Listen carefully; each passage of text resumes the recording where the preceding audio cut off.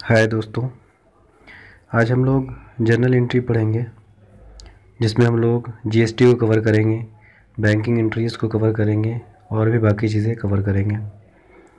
अभी बहुत सारे बच्चों का हाफ़ ईयरली एग्ज़ाम होना है। लगभग स्टेट में दिल्ली हो, या फिर बिहार हो, और भी कई सारे स्टेट में। तो कुछ लोगों की रिक्वेस्ट आई कि एक वीडियो जर्नल एंट्री पे बनाइए। तो आज ये एंट्री ये वीडियो जर्नल एंट्री पे होगी। तो चलिए हम लोग देखते हैं जर्नल एंट्री के बारे में।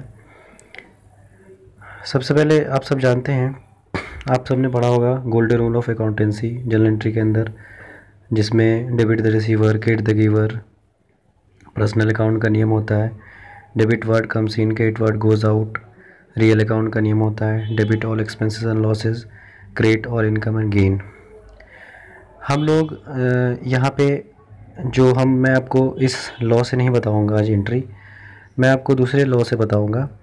आप यहाँ पे हम लोग जो आज पढ़ेंगे, उसमें ये दो का मैं अलग लॉ बताऊँगा और फिर ये debit the receiver credit the giver ये सेम चलता रहेगा।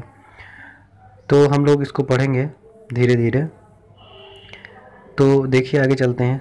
हम एक मॉडर्न रूल लेंगे, जिसमें ये होगा कि जब यहाँ देखिए, मैंने यहाँ लिया है डेबिट इंक्रीज़ एसेट्स और क्रेडिट डिक्रीज़ इन एसेट्स जब एसेट्स बढ़ेगा बिज़नेस के अंदर, सबसे पहली बात ये होती है कि हम लोग जब अकाउंटिंग के बारे में सोचते हैं तो हमें ये सोचना चाहिए कि जब हम लोग अकाउंटिंग करते हैं तो हमें अपने दिमाग में ये रखना चाहिए कि हम बिज़नेस की अकाउंटिंग कर रहे हैं, ना कि अपने घर की अकाउंटिंग कर रहे हैं। तो बिज़नेस में जब भी एसेट्स बढ़ेगा तो हम डेबिट करेंगे और जब एसेट्स घटेगा तो हम क्रेडिट करेंगे। जैसे यहाँ पे हमने एग्ज़ाम्पल लिया है परचेज़ गुड्स ऑन कैश तो परचेज़ गुड्स ऑन कैश मतलब कि हमने गुड्स परचेज़ किया कैश में। तो हमारे पास बिज़नेस में क्या बढ़ा? गुड्स भरा और क्या गया? कैश तो हमने एंट्री कर दी purchase account debit to cash account ये हमने एंट्री कर दी। क्यों ये एंट्री करी? कि हमने क्या पता पढ़ा कि जब बिज़नेस में डेबिट एसेट्स बढ़े तो डेबिट करना है एसेट्स घटे तो क्रेडिट करना है। तो हम यह देख रहे हैं कि परचेज़ यहाँ पे बढ़ रहा है। मतलब परचेज़ मतलब माल, जो गुड्स है वो बढ़ रहा है और कैश घट रहा है। गुड्स को हम लोग गुड्स वर्ड ना लिख करके परचेज़ वर्ड लिखते हैं, क्योंकि कोई बिजनेसमैन जब हमेशा एक ही माल ख़रीद रहा होता है, जिस चीज़ की वो बिज़नेस करता है तो उसके लिए वो गुड्स वर्ड का यूज़ करता है, उसके लिए वो चीज़ बेचने के लिए ख़रीदता है। तो बार बार वो गुड्स का नाम नहीं लिख करके वो परचेज वर्ड यूज़ करता है। इसीलिए कभी भी आप देखेंगे तो गुड्स की जब एंट्री होती है तो वहाँ पे गुड्स वर्ड नहीं लिख करके परचेज वर्ड यूज़ किया जाता है। आप देखते होंगे, आम लोग भी कि हमारे इतने का माल आया, हमारे इतने का माल गया। तो जो अगर, मान लीजिए कोई अगर चेयर की बिज़नेस कर रहा है तो वो इंसान के लिए वो चेयर क्या हुआ? गुड्स हुआ। तो इसीलिए बार बार चेयर ना लिख करके वो सीधा परचेज़ लिख देता है कि हमने इतने का माल परचेज़ किया। तो यहाँ पर हमने देखा कि जब हमने परचेज़ किया तो गुड्स हमारे पास आ गया और दूसरा हमारे पास से कैश चला गया। तो हमने परचेज़ को डेबिट कर दिया, क्योंकि डेबिट इंक्रीज द एसेट्स और क्रेडिट डिक्रीज द एसेट्स तो हमने टू कैश कर दिया। ठीक इसी तरह हमने जब फर्नीचर ख़रीदते हैं हम लोग तो फर्नीचर बढ़ा तो हमने, देखिए परचेज़ फर्नीचर और कैश से बिज़नेस में क्या हुआ? फर्नीचर बढ़ गया। तो हमने क्या पढ़ा कि debit increase the assets business में फर्नीचर एसेट्स है ये बढ़ गया तो हमने इसे डेबिट कर दिया। और दूसरा एसेट्स कौन सा घटा हमारे पास से? कैश मतलब बिज़नेस के पास से तो टू कैश हमने कैश को क्रिएट कर दिया। ठीक इसी तरह, जब हम लोग गुड्स बेचेंगे सेल्स गुड्स ऑन कैश तो हमारे पास कैश आएगा मतलब बिज़नेस में कैश आएगा। तो डेबिट इंक्रीज द एसेट्स मतलब डेबिट करेंगे जब एसेट्स बढ़ेगा तो तो कैश एक एसेट्स है बढ़ रहा है हमारे पास तो हमने इसको डेबिट कर दिया। दूसरा हमारे पास से गुड्स जा रहा है। तो गुड्स जा रहा है तो हम हम, जब हमारा दूसरा एसेट्स गुड्स कम हो रहा है तो क्रिएट करते हैं डिक्रीज इन एसेट्स को। तो इसीलिए हमने टू सेल्स क्रिएट कर दिया गुड्स को। जब हम लोग परचेज़ करते हैं गुड्स को तो परचेज़ लिखते हैं। और जब सेल्स करते हैं गुड्स को तो सेल्स लिखते हैं। बाकी अगर एसेट्स परचेज और एसेट्स सेल हो, जैसे फर्नीचर मशीनरी ये सब चीज़ें अगर परचेज या सेल की जाए तो वहाँ पर उसका नाम लिखना ज़रूरी होता है। लेकिन जब हम लोग गुड्स बेचते हैं तो वहाँ पर उस गुड्स का नाम न लिख करके हम सिर्फ़ सेल और परचेज लिख देते हैं। ये सिर्फ़ गुड्स के केस में होता है। समझ गए? तो ये थी, ये हम लोग ने इंक्रीज एसेट्स और क्रेडिट एसेट्स बढ़ना और घटना। ये दो चीज़ अगर हो तो इसकी एंट्री इस तरह करेंगे। दूसरा, हम लोग ये जान, पढ़ते हैं क्रेडिट करेंगे जब इंक्रीज इन लाइबिलिटी हो। मतलब ये कि जब हमारे बिज़नेस में लाइबिलिटी बढ़े तो हमें क्रेडिट करना है। जब लाइबिलिटी घटे तो हमें डेबिट करना है। जैसे देखिए, हमने यहाँ क्या पढ़ा? Purchase goods on credit purchase goods हमने ख़रीदा क्रेडिट पे। तो बिज़नेस में क्या आया? गुड्स तो हमने क्या सीखा कि जब एसेट्स बढ़े तो हम डेबिट करना है। तो एसेट्स बढ़ा तो हमने परचेज अकाउंट डेबिट कर दिया। अब हमने कैश तो दिया नहीं है। हमने मतलब उधार ख़रीदा है। तो उधार ख़रीदा तो हमारी लाइबिलिटी बढ़ गई, क्योंकि आज न कल उसे पे करेंगे। तो हमने क्या सीखा कि जब लाइबिलिटी बढ़ जाए तो उसे हम लोग क्रेडिट कर देंगे। तो इसीलिए लाइबिलिटी यहाँ पर राम से ख़रीद रहे हैं। राम हमारे लिए क्या होगा? क्रेडिटर क्रेडिटर क्या हुई? लाइबिलिटी तो लाइबिलिटी बढ़ रही है, इसलिए हमने इसे क्या किया? क्रेडिट कर दिया। तो एंट्री क्या हो गई? Purchase account debit to Ram account ठीक, इसी तरह अब हम लोग देखेंगे दूसरा। जैसे हमने परचेज फर्नीचर ऑन क्रेडिट हमने फर्नीचर ख़रीदा क्रेडिट पे। तो हमारा क्या हुआ? फर्नीचर हमारे पास आ गया और हमारे पास कैश नहीं गया, उधार रह गया। तो कैश नहीं गया, ये रह गया उधार। तो हम क्या करेंगे? यहाँ पे, हम देखेंगे यहाँ पे कि फर्नीचर हमने जब ख़रीदा तो फर्नीचर हमारे पास आ गया मतलब एसेट्स एक बढ़ गया। तो हमने क्या सीखा कि एसेट जब बढ़े तो डेबिट करना है। तो फर्नीचर अकाउंट डेबिट कर दिया हमने। टू कैश तो जा नहीं रहा है। अगर कैश या बैंक किसी और से पे कर रहे होते तो हमारे उस एसेट्स में कमी हो जाती। हम यहाँ ले रहे हैं उधार। तो हम क्या करेंगे? टू श्याम क्रिएट कर देंगे। क्यों क्रिएट करेंगे?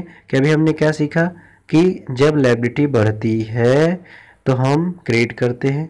तो यहाँ पे क्या होगा? शाम को आज न कल हमें पे करना होगा। शाम हमारे लिए एक तरीके से क्रिएटर है। तो इसीलिए हमने इस क्रेडिट को क्रिएटर को बढ़ रहा है। तो क्रिएटर क्या है? लाइबिलिटी है। तो इसलिए हमने इसे क्रिएट कर दिया। तीसरी चीज़ ये, यहाँ पे हम देखिए, हम लोग बैंक लोन के बारे में देखते हैं। जैसे हमने बैंक से लोन लिया। बैंक से लोन लेंगे पाँच हज़ार रुपये का, जैसे हमने बैंक से लोन लिया। तो हमारे पास क्या आएगा? बिज़नेस में कैश आ जाएगा। तो हमने क्या किया? To cash account. लेकिन हमारे बिज़नेस बैंक से ले रहे हो तो यहाँ पे टू बैंक लोन अकाउंट होगा। यहाँ मिस्टेक हो गई है। यहाँ टू बैंक लोन अकाउंट होगा। तो हम लोग क्या करेंगे? क्योंकि बैंक लोन हमारे लिए लाइबिलिटी है लाइबिलिटी बढ़ जाएगी तो इसीलिए हम क्या करेंगे? बैंक लोन को क्रिएट कर देंगे। तीसरी चीज़, अब आगे देखिए।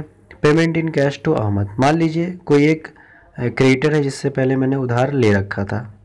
तो अगर हमने उधार लिया था तो अब अगर लाइबिलिटी हमने क्या सीखा कि जब अगर लाइबिलिटी बढ़े तो हमें क्रिएट करना है और लाइबिलिटी जब घटे तो हमें डेबिट करना है। ये हमने सीखा अभी।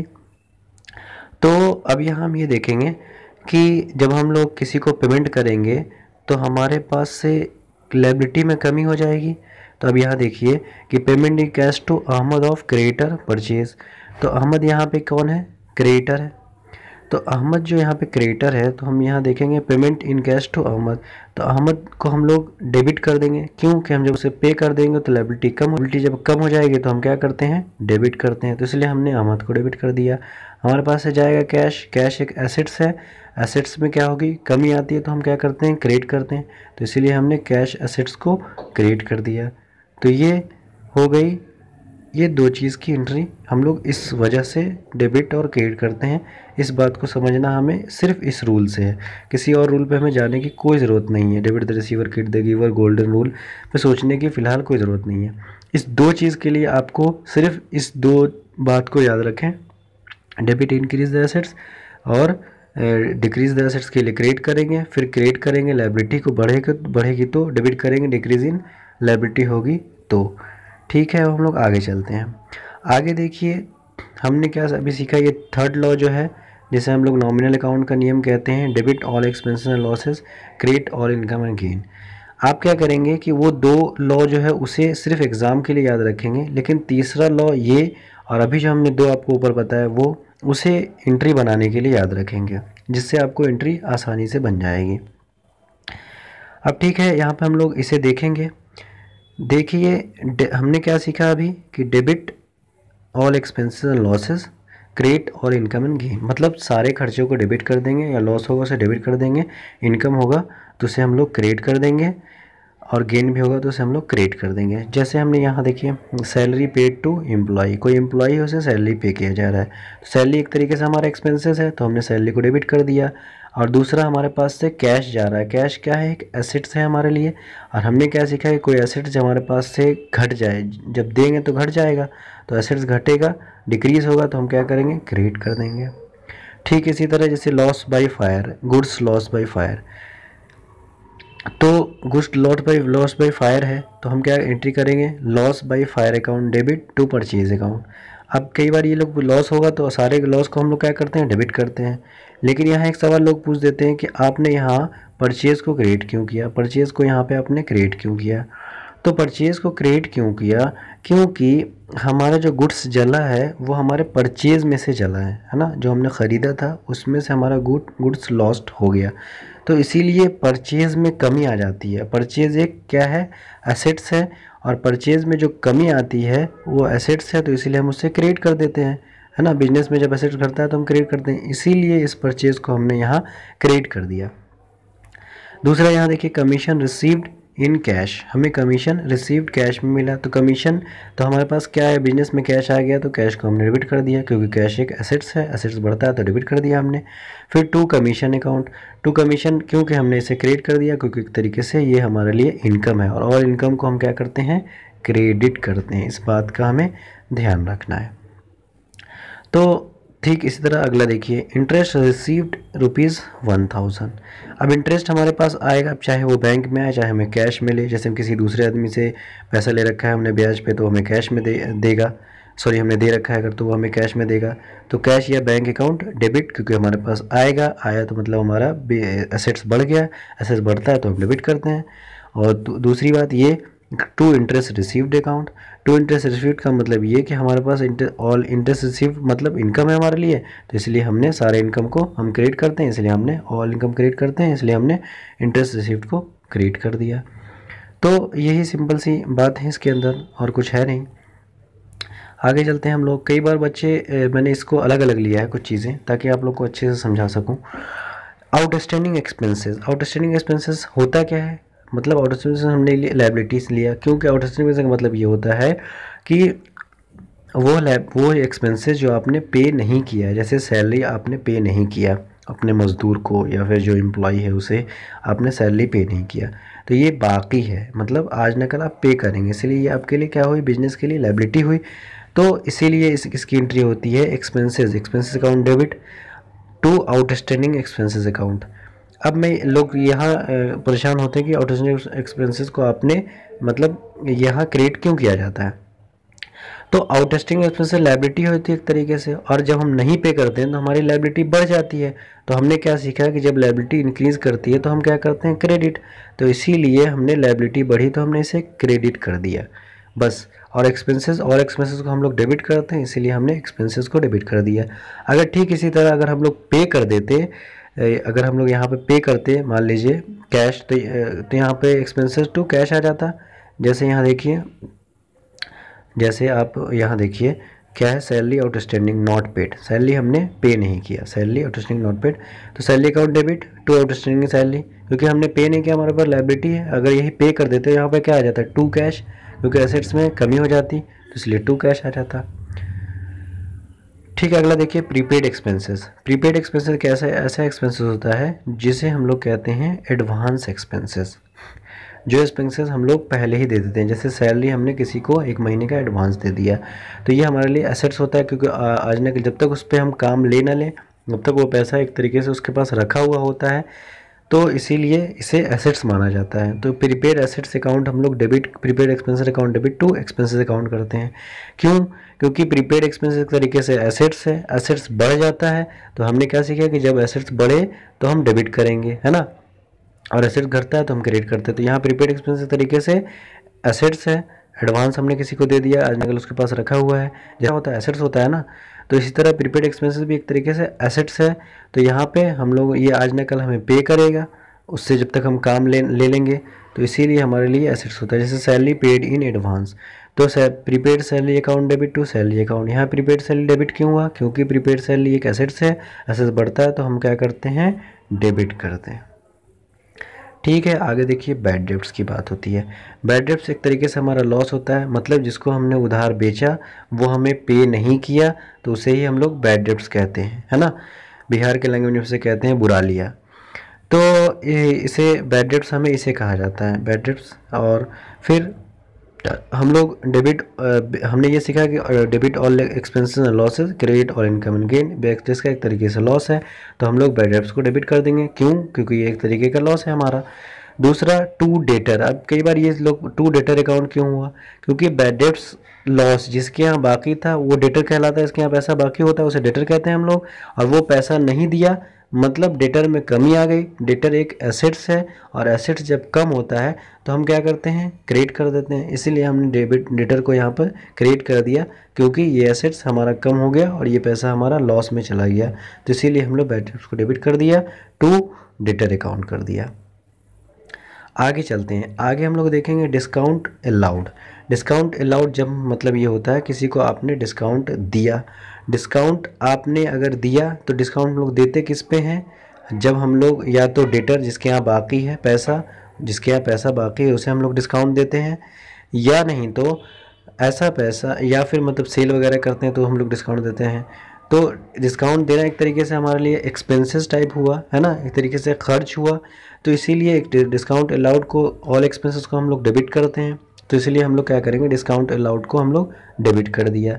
अब यहाँ पे एग्जांपल देखिए cash received from debtor Shyam rupees five thousand and allowed him discount rupees one thousand मतलब हमने कैश रिसीव्ड किया डेटर से, उसको हमने डिस्काउंट दिया। तो कैश हमारे बिज़नेस में आया। कैश एक एसेट्स है एसेट्स बढ़ता है तो हम लोग डेबिट करते हैं। तो हमने डेबिट कर दिया। डिस्काउंट अलाउड एक तरीके से क्या है एक्सपेंसेस है। तो एक्सपेंसेस होता है तो हम डेबिट करते हैं, इसलिए हमने एक्सपेंसेस को डेबिट कर दिया। और एक्सपेंसेस आर डेबिटेड और इनकम गेन क्रेडिटेड ये होता किस पे है? टू डेटर डेटर हमारा कम हो गया क्योंकि उसने हमें पैसा दे दिया। अब पैसा जब दे दिया तो उतने से डेटर हमारा कम हो गया। डेटर क्या है? एक एसेट्स है और एसेट्स जब कम होता है तो हम क्या करते हैं? इसे क्रेडिट करते हैं। तो इसीलिए हमने एसेट्स को क्रिएट कर डेटर को क्रिएट कर दिया। ठीक है हम लोग आगे चलते हैं। आगे है डिस्काउंट रिसीव्ड डिस्काउंट रिसीव्ड क्या है? मतलब किसी से हमने कोई चीज़ ख़रीदा, उसने हमें डिस्काउंट दिया। या मतलब या फिर किसी को हमने लोन लिया था, उसने बाद में कहा कि पैसा आप मुझे कम ही दे दो, इतना ही पे करना था, आप कम ही पे कर दो। तो इसे हम लोग डिस्काउंट कहते हैं, जैसे क्रेडिटर से मिलता है, उधार ख़रीदने पे। तो डिस्काउंट रिसीव मतलब एक तरीके से ये हमारा क्या हुआ? इनकम और सारे इनकम को हम क्या करते हैं? क्रेडिट तो all income are credited all income all expenses loss are debited तो हमने इनकम को टू डिस्काउंट रिसीव्ड हमने क्रिएट कर दिया, है ना? और दूसरा यहाँ देखिए पेमेंट अब जैसे एग्जांपल देखिए payment to creditor of rupees twelve thousand creditor give him discount two thousand हमने पेड किया किसको? राम को। राम क्या है? क्रिएटर तो राम यहाँ क्रिएटर है तो क्रिएटर कम हो गया मतलब लाइबिलिटी कम हो गई। और जब लाइबिलिटी घटती है तो हम क्या करते हैं?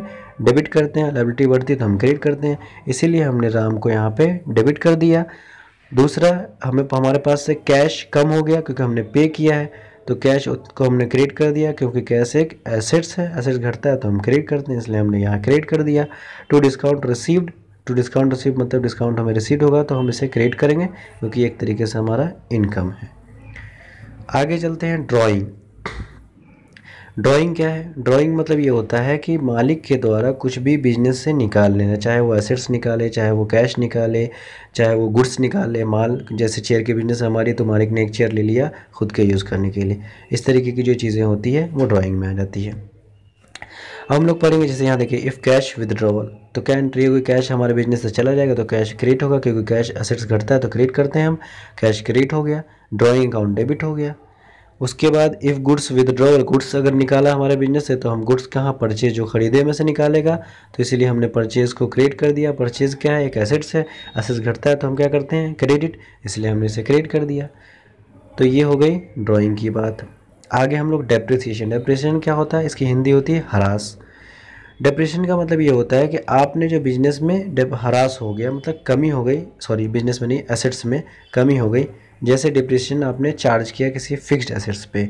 जैसे यूज़ करने से कोई चीज़ में कमियाँ हो जाती है, जैसे फ़ोन यूज़ कर रहे हैं तो आज ख़रीदा, कम दाम में बिकता है। तो इसीलिए इनकम टैक्स एक्ट के अंदर इस चीज़ को कहा गया कि आप इसे डिप्रिसिएशन चार्ज करो और अकाउंटिंग लॉ के अंदर भी ये चीज़ कही गई कि आप डिप्रिसिएशन चार्ज करो। इस वजह से हम डिप्रिसिएशन चार्ज करते हैं उस हरास की वजह से। तो जैसे यहाँ देखिए डिप्रिसिएशन चार्ज ऑन एसेट्स तो डेप्रिसिएशन एक तरीके से हमारा लॉस एक्सपेंसेस हो जाएगा इसलिए हमने क्या करेंगे, सारे एक्सपेंसेस लॉसेस को डेबिट कर डेबिट करते हैं इसलिए डेप्रिसिएशन को हमने डेबिट कर दिया। दूसरी चीज़ डिप्रेशन के वजह से हमारे एसेट्स में कमी आएगी। तो एसेट्स में कमी होती है तो हम क्या करते हैं क्रेडिट इसीलिए टू एसेट्स अकाउंट यहाँ पे फर्नीचर हो मशीनरी हो, कोई भी फिक्स एसेट्स हो तो टू मशीनरी हो टू फर्नीचर हो, कुछ भी हो तो हमने क्यों क्रेडिट किया, क्योंकि एसेट्स में कमी हो जाती है। और डिप्रेशन को डेबिट क्यों किया, क्योंकि ये हमारा एसेट्स ये हमारा डेबिट होता है क्योंकि तरीके से एक्सपेंसेस टाइप हो जाता है। ठीक है हम लोग आगे देखते हैं। आगे अब हम लोग देखेंगे इंट्री सेक्शन ये बहुत इंपॉर्टेंट है। इसे आप लोग बहुत गौर से सुनिएगा और देखिएगा। इंट्री ऑन बैंकिंग ट्रांजेक्शन ये कई बार बहुत सारे बच्चे कंफ्यूज होते हैं। इवन कई सारे टीचर्स भी कंफ्यूज हो जाते हैं। इवन बहुत सारे लोग कंफ्यूज होते हैं कि आखिर ये चीज़ क्यों होती है।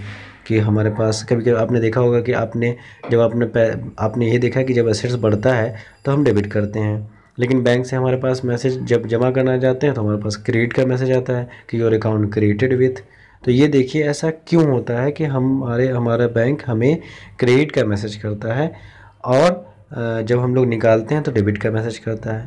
तो ये क्यों होता है? तो देखिए, यहाँ हमने देखा कैश डिपॉजिटेड इनटू बैंक जब हमने बैंक में कैश जमा कराया तो हम जो बिज़नेस में ख़ुद एंट्री करेंगे तो क्या एंट्री करेंगे? हमारा बैंक बढ़ जाएगा तो bank account debit to cash account क्योंकि कैश हमारे पास आ जाएगा। हम कैश लेकर के ही बैंक जाते हैं ना बैंक अकाउंट में जमा कराने के लिए। तो कैश में कमी आ गई कैश एक एसेट से हमने कमी आई तो क्रेडिट कर दिया। बैंक हमारा बैंक अकाउंट बढ़ गया बैंक भी एक एसेट्स है तो एक एसेट्स हमारा बढ़ गया तो हमने डेबिट कर दिया। ये हम किसके? खुद के पास एंट्री करते हैं। लेकिन अब सवाल ये होता है कि बैंक अपने पास क्या एंट्री करती है? ये हमें जानना ज़रूरी है। बैंक अपने पास क्या एंट्री करती है देखते हैं हम लोग।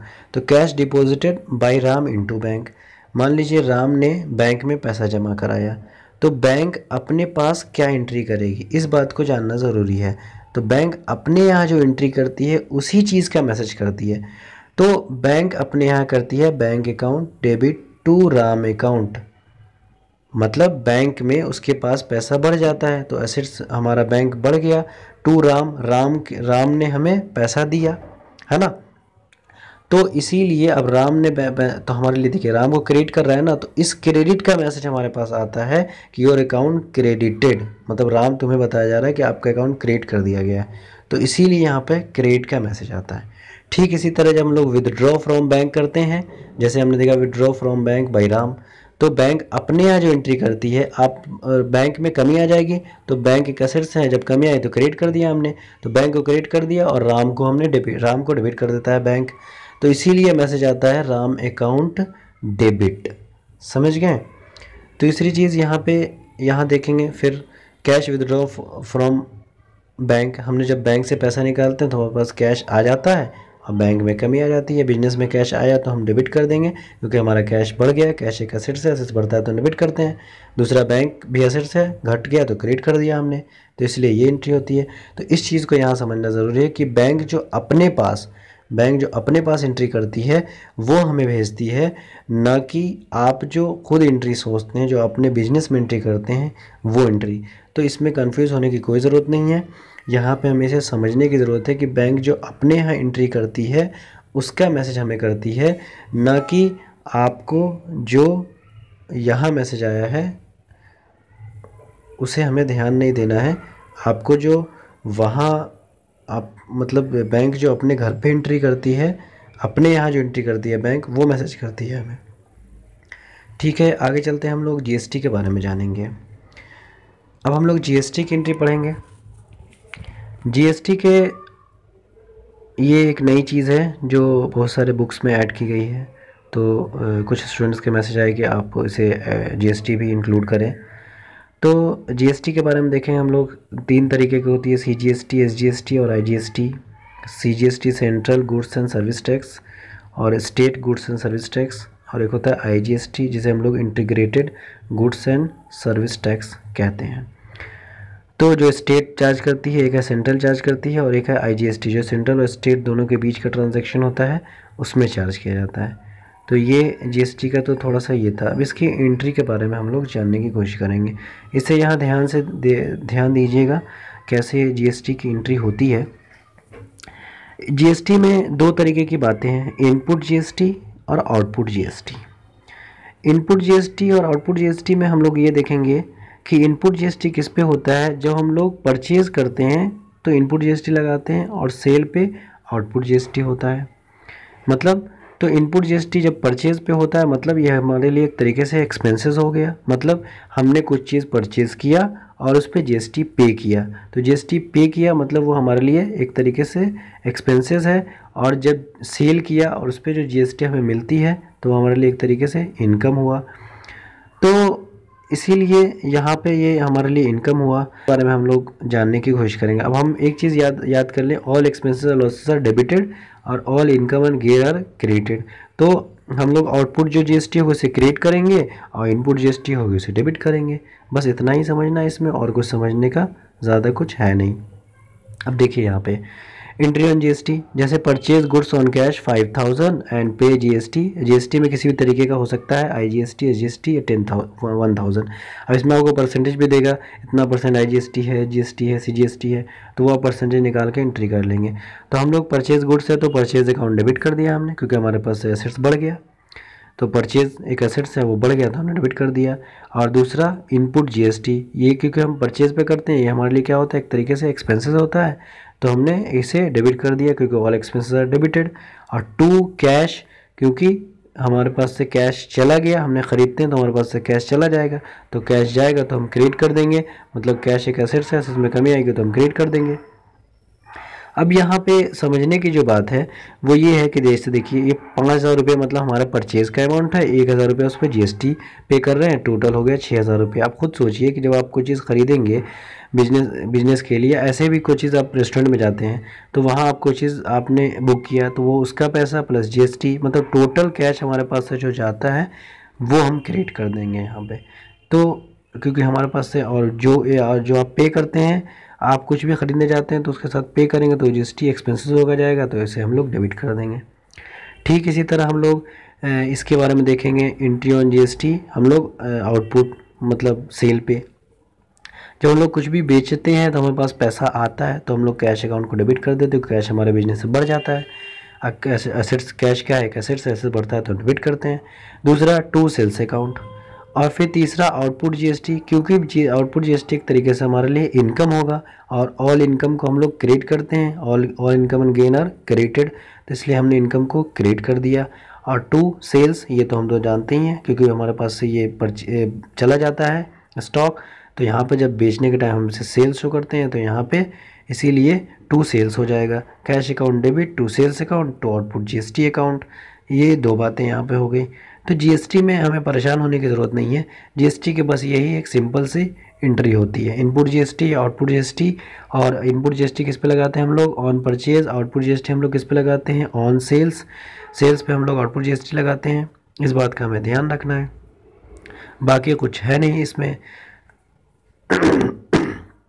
सॉरी फिर हम लोग तो जीएसटी की सेंट्री को ध्यान रखना है। अब देखिए आगे हम लोग यही लास्ट था और हाँ, आपको वीडियो अच्छी लगी तो हमारे चैनल को सब्सक्राइब करिए और ज़्यादा से ज़्यादा इस वीडियो को शेयर करें क्योंकि उन बच्चों के एग्ज़ाम जिनके होने हैं उन तक ये वीडियो पहुँच जाए। और किसी तरीके का कोई सवाल हो तो आप सब हमारे इस पर कमेंट करें। कमेंट में लिख करके पूछ सकते हैं। और तीसरी चीज़ कि आप लोग बुक बनाएँ, बुक से सवाल बनाएँ। अगर उसमें भी कहीं कोई डाउट होता है तो वो भी मुझे बताइए। मैं इंशाल्लाह इसमें हेल्प करूँगा। और किसी भी तरीके की कोई भी सवाल हो तो ज़रूर पूछें। Thank you.